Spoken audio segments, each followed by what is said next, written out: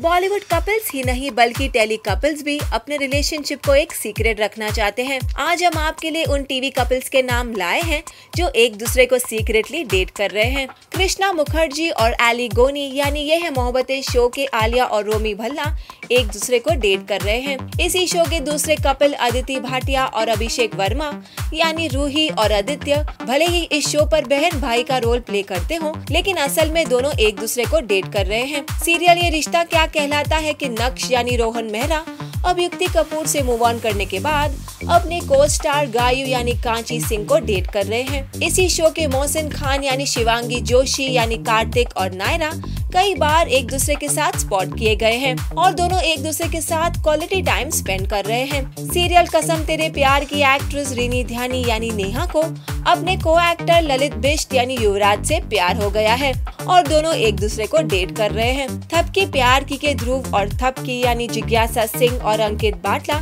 एक दूसरे को डेट कर रहे हैं।